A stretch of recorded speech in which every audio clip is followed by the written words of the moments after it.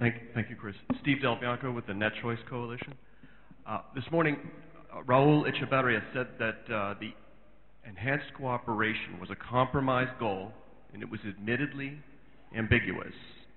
And it was uh, arrived at in the final days of Tunis to avoid having to choose, to defer having to choose between existing or new mechanisms for internet governance. And, and it reminds me of something I've done with my teenage son, who is nagging me all the time to choose between letting him use an existing car or buying him a new car, and I tell him to work on enhanced transportation instead. But, but seriously, I care about en- enhanced cooperation because I want to avoid, I definitely want to be clear, I want to avoid a new mechanism for internet governance that might be designed by and for government.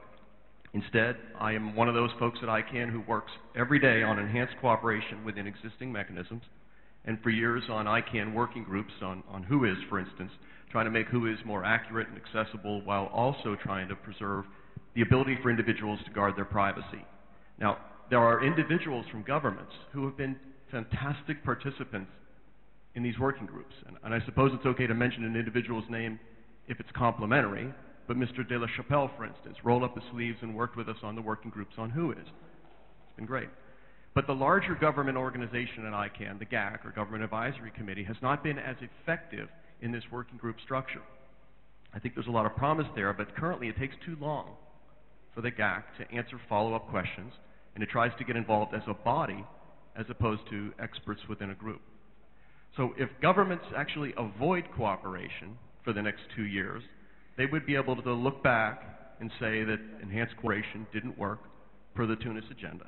Now, a cynical person would interpret that to say that they just want to justify the creation of a new mechanism. But I don't want to be cynical. Not, not here at the IGF. It's an optimistic time and an optimistic place.